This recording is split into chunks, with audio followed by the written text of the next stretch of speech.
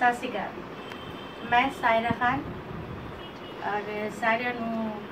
बहुत बहुत आदाब। सब तो पहला मैं रूबी जी ने मुबारकबाद देना ਮੁਬਾਰਕਬਾਦ वैसे मुबारकबाद देन वास्ते मैं काफ़ी लेट हो गई हैं,